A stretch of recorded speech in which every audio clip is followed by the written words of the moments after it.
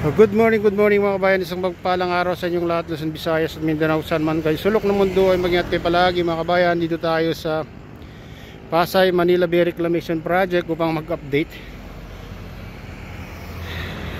Ito mga kabayan ay ah, ah, wala pa rin tayong nakitang ah, pagbabago ngayon. At ah, pupunta naman tayo dun sa ano mga kabayan na tapat ng uh, Mall of Asia.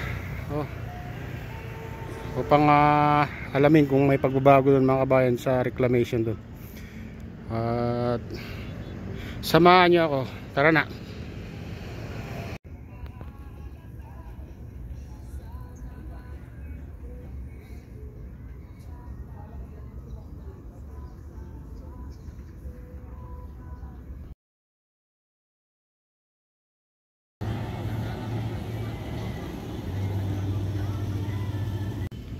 Ayan mga kabayan, dito na tayo sa tapat ng um, SM Mall of Asia upang mga alamin itong uh, reclamation dito mga kabayan. Ito ay wala pa rin pagbabago mga kabayan, ganito pa rin. Hmm, dito banda. Ayan.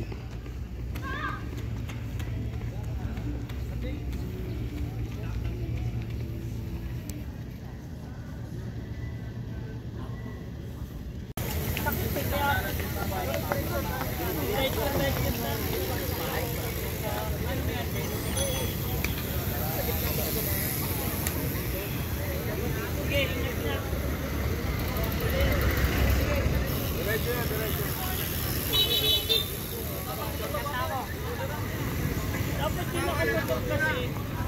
dapat hindi niya na kinit.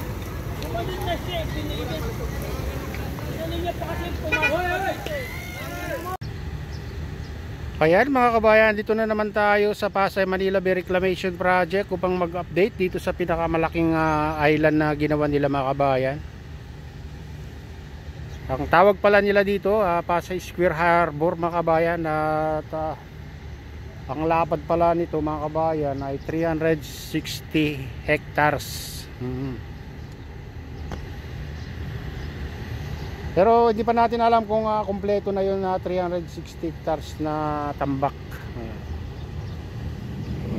Ito napakalawak na mga kabayan at dito banda sa malapit sa parkingan ng mga yate o ferryboat diyan sa malapit sa MUA mga kabayan ay mataas. Ayan, ganyan kataas diyan oh. Kung makikita nyo talagang ah, hindi pa nagagalaw ngayon yan mga kabayan. Dito lang sa banda rito Ah, medyo napatag naman yan mga kabayan. At saka may nakalagay na ano ah, geotextile Ah, geotextile kasi ang tawag nila dyan sa nakapatong na green.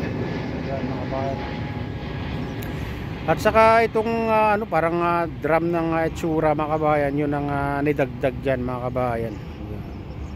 At dyan sa kalagitnaan naman ay nakikita natin yung mga backho, mga dump truck na naka-standby, mga crane, ayan. Ayan, yung mga ano dyan, ah, dredging vessel, mga kabayan, nandun, naka-standby din. Hmm.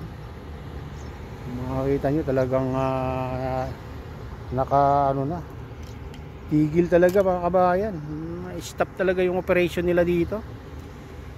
Ayan no. Hmm. Ah, sa ganitong oras ay dapat ah, mayroon ng nagtatrabaho dito kung ah, hindi pinatigil. Ayan. At naka-standby na lang yung mga back ko dito.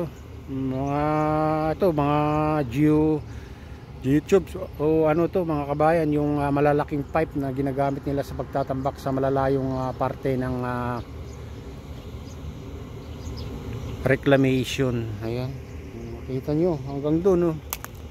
Daming naka ano ngayon, naka-standby yung mga malalaking tubo mga kabayan. Yan, nakatambak lang diyan sa gitna.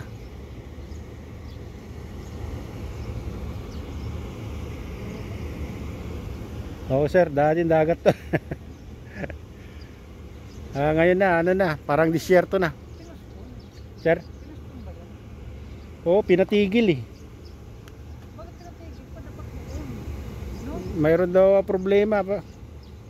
Tiwan ko lang kung anong ah, problema nila sir. Mayroon din doon sa Cavite, tinatambakan.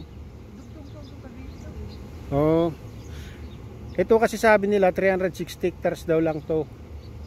Ito itong isa isang isla lang to eh. Tapos dun sa gitna naman ah ewan ko kung 300 din o ano. Tatlong isla na malalaki ito hanggang dun sa gitna eh. Tapos by pang-apat dyan na ano. Hindi na tuloy din. Tatigil din. Oh.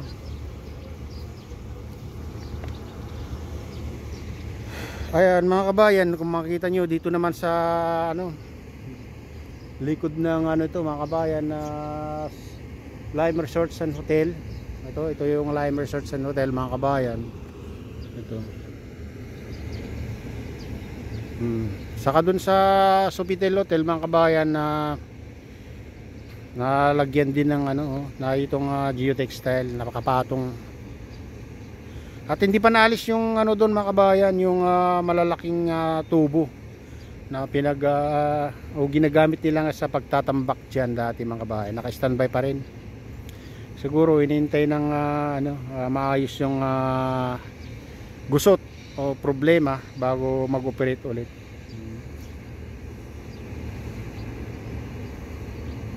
Eh, nandito na mga kabayan, paano mo pa mababawi yan kung patitigil lang nila to. Pero palagay ko, ah, ano lang, inaayos talaga yung ah, gusot nila kung ano man ang gusot. Ah, malalaman natin sa mga sunod na araw. Kung ah, itutuloy pa ba ito o stop na talaga.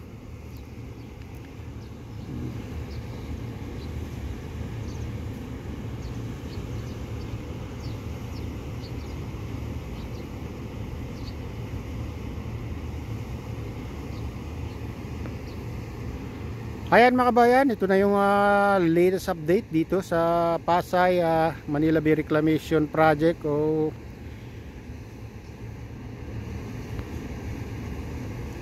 o Pasay Harbor. Ah, Reclamation Project. O Pasay Harbor Corporation. Ayan mga kabayan, yun ang ah, tawag nila. Uh, shoutout nga pala sa lahat ng OFW, mga immigrant sa ibang bansa, shoutout din sa lahat ng vloggers, shoutout din sa lahat ng sumusuporta sa aking uh, YouTube channel. Sana hindi kayo magsawang sumuporta mga kabayan. Sana patuloy nyo akong subaybayan at patuloy din natin na i-update itong uh, Pasay Manila Bay Reclamation Project. At uh, shoutout din kay Kuya Iyo, kay Atelin, kay uh, Kuya Rick.